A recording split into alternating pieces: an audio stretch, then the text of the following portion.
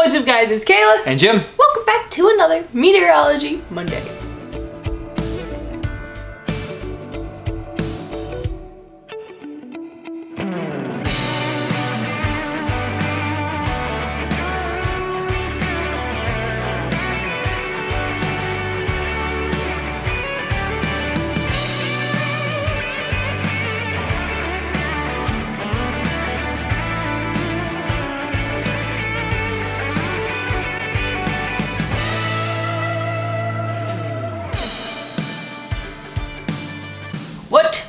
We discussing today? Today we're going to discuss the Farmer's Almanac 2023 spring prediction for the United States. And we've already done one for the winter 2022-2023 season for the United States. We've done that in an earlier video and Editing Kayla is going to link the description down below. So you can check that out. That goes into more details. It does, yes. So yes. We are planning for this particular video not to go in depth like we did for that one because that kind of set the basis for the Farmer's Almanac and stuff. Right. Here we're just going to pick it up three months later and look at the spring prediction. What are we looking at for spring? Um, also, disclaimer, if I sound a little funny in this video, it is because North Carolina decided it was already going to be spring and the allergies have uh, bestowed upon me a stuffy nose. So Yes, we took the clothespin off earlier, but she still sounds the same. So I, I don't know. So bear with me in this video. So we're going to talk about the Farmer's Almanac's prediction for the U.S. in spring 2023. Will winter hold on? Will spring make its normal arrival? Will it arrive early?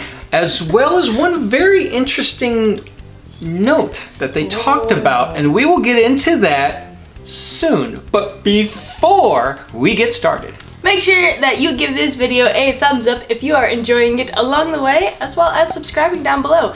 As of this time, we are about to hit 5,000 subscribers, Wow. which is about 4,999 more subscribers than we ever thought we would get. So thank you guys so much for watching our videos and subscribing and commenting and interacting and messaging us on Instagram. And it has been amazing. So if you are watching this currently and you're not subscribed, what are you waiting for? Join the MeteoTech Weather family, hit the subscribe button, and join the conversation.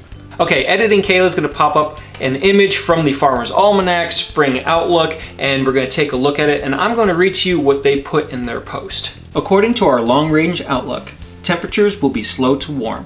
In fact, around the time of the vernal equinox, unseasonably cold temperatures may be gripping many parts of the country, extending the shiver and shovel portion of our outlook. We are predicting a soggy, shivery spring ahead. Overall, we see a wet and cool season for most places, with spring taking its sweet time to arrive. The exceptions will be in the far west with near normal temperatures over Washington, Oregon, and Idaho, as well as the southwest, where you'll see quickly rising temperatures. Snow will continue to be mentioned in early April for the Great Lakes. Spring will be unusually active over the nation's heartland with frequent heavy to severe thunderstorms predicted. Such adverse activity will be confined chiefly to the southeast states during March, then will spread north and west April through June. The most frequent and devastating tornado events tend to occur in the region of the U.S. colloquially referred to as Tornado Alley. This region generally runs from the Dakotas south to Texas, although in 2023 we find this active zone shifting somewhat to the east and encompassing the Ohio, Tennessee, and Mississippi River valleys. So like Kayla was saying earlier, her allergies and everything have been kicking up. North Carolina, we've really had a lot of temperature swings recently. We've got spring and then we fall back into winter and now it's become spring again. And I think we're forecast to go back into winter this weekend. I so think, I, think it- I saw some snow flurry emojis on my weather app yeah, for sometime later this week. So the southeast doesn't know what it's doing. no, but you know, it, it is springtime in the U.S. and with seasonal patterns changing, it does happen. We're coming out of La Nina, going into a neutral pattern, and Yes. then eventually transitioning to an El Nino phase. So we're looking to see what's going to happen, and very curious. You'll have to stick around because we're going to be talking about the summer forecast and how it's going to impact hurricane activity too. So Yeah. that's down the road. Down you got the a little bit of time. Let's deal with the allergies first. And something that this said happens to be um, a potential for some twisting storms in Mm. areas that maybe don't usually get uh, right. as much of the the activity. So let's dive into what it was talking about there. That's right. Side note, if you don't know what El Nino or La Nina is and was kind of confused about what we were just talking about, we just made a video a couple weeks ago explaining all of that, and it'll pop up in one of these corners if you want to go check that out and uh, join us back here when you're done with that one. So let's talk about how the severe weather zone was shifting uh, for the spring season to the Ohio, Tennessee, and Mississippi River valleys. So typically you would have in February and March down in the deep south of the U.S., you know, Mississippi, Alabama, Georgia, uh, Louisiana, down in there, uh, you'd have severe weather that would break out in this time period, and then the focus would start shifting as the jet would lift further north and then shift further west when you get into April and June, and you have your typical tornado alley activity from the Dakotas south Texas. But here they actually pointed out the Ohio, Tennessee, and mm. Mississippi valleys for severe weather. Yeah. So is it going to be more than what is typical, let's Right. say? And that's kind of the wording I'm getting from this. Yeah, from that's what I'm reading from this as well, is they're expecting severe weather to happen more towards the east than over traditional tornado alley. We'll have to see as we are now into March. Yep. This is the the next three month period. So the spring outlook is March, April, May, and so we'll see how things develop in that zone. And keep our eyes out, and then look to see come April and May as things start to shift further west. So for us, for us chasers that are along the East Coast and over the Ohio, Tennessee, and Mississippi River valleys, we'll have a better chance of capturing severe weather events and being able to post them here. Exactly. Yeah, we might not need to make the trek all the way out into Tornado Alley this year. If this is correct, we might even just have to go one state over. That's right. So we'll see. We'll see. Let's see what happens. Again, this is the Farmer's Almanac spring prediction. This is not uh, NOAA, the National Weather Service, anything like that. We're not diving into what their forecasts are at all.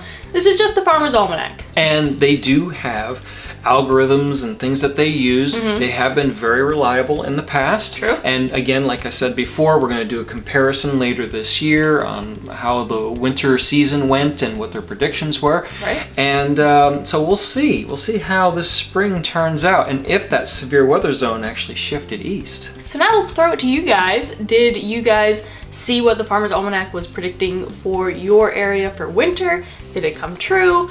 They had some funny things like pigs picking up sticks and all that stuff. Was that happening in your area? Did you get as much snow and cold weather as the Farmer's Almanac was predicting, or was it wrong? And how do you think that this coming spring season for the US is going to turn out? Is it going to be like they're saying, or is it going to maybe be like, ah, you were wrong for the winter, should we believe you for the spring? Let us know what your experience was this past winter. Again, all of the links for everything will be down in the description if you want to check out any of the videos that we were talking about or read the Farmer's Almanac spring prediction for yourself. Down there you will also find the links to our School of Weather if you are interested in learning about the basics of meteorology and the topics that are covered in a college level Introduction to Atmospheric Sciences course. Go ahead and check those out. We've got two tiers so far. I believe there's 10 or 11 videos total and it dives into you know, what is a thunderstorm? What is wind? How does it affect thunderstorms? How do tornadoes form? How do hurricanes form? And all the fun stuff like that while not going too scientific. So it's great for all ages. If you want to check that out, it's down in the description next to our website and all the links to our social media, Facebook and Instagram. Check us out over there. And again, make sure you're subscribed. We're so close to 5,000. If we could hit it this month, that'd be awesome. It's a bit of a stretch, but eh, you know, we're, we're shoot for the moon, and if you land, right. I don't know, somewhere else on Earth, I don't remember what the saying is, but Shoot for the stars, and if you hit the moon, look at that, you got to the moon. So I like his better. Let's shoot high for the stars. Uh, tomorrow we're going to hit 5,000 subscribers. tomorrow. okay, PewDiePie. All right, that's it for the video today. Thanks for watching. Until next time, I'm Kayla. And I'm Jim. Thanks for watching. And we'll see you at the next Meteorology Monday.